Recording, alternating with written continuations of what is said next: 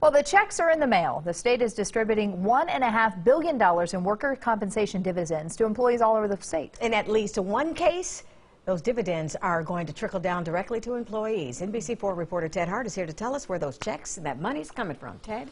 Well, companies are actually spending more money on safety, and workers are filing fewer claims for injuries, and the state has been getting strong returns on its investments.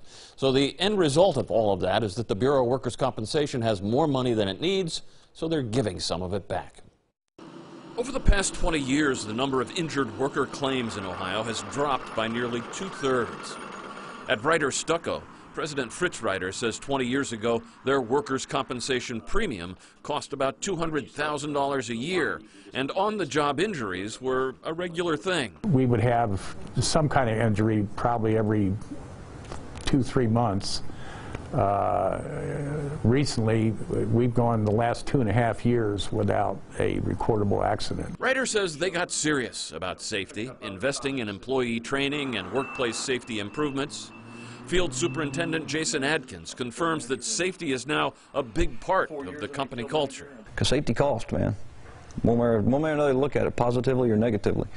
You know, it costs for all the stuff you got to do, but if you're not safe, it's really going to cost. By investing in safety and reducing injuries and accidents, the company's workers' compensation premium has dropped to about a quarter of what it was 20 years ago.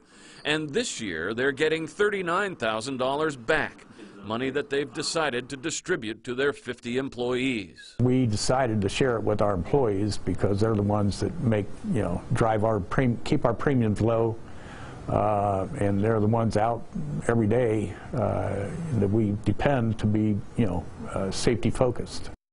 And Fritz Ryder said that the company's safety record is now not only saving them money, it's also a strong selling point when they're competing for jobs. Local for you, Ted Hart, NBC4. All right, Ted, thank you.